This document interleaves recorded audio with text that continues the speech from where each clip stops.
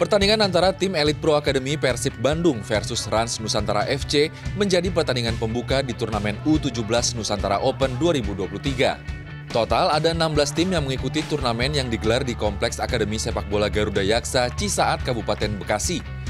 Dari 16 tim tersebut, 11 tim adalah tim Pro Elite Academy dan 5 tim dari akademi dan sekolah sepak bola terbaik di Indonesia, termasuk tim Akademi Sepak Bola Garuda Yaksa sebagai tuan rumah. Nantinya, pemain-pemain terbaik hasil pantauan tim pemandu bakat di turnamen ini akan mendapatkan kesempatan berlatih di Aspire Academy di Qatar. Karena kan di liga itu sekarang kita tidak hanya menyiapkan tim senior masing-masing klub, tetapi pembinaan pemain harus dari muda.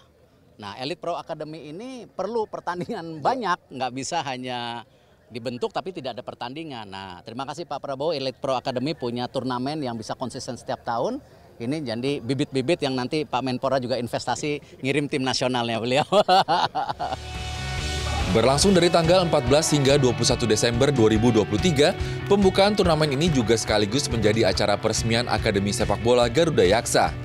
Ini adalah turnamen kedua setelah tahun lalu tim Persib Bandung menjadi juara dan sudah merasakan berlatih di Aspire Academy di Qatar selama tiga minggu.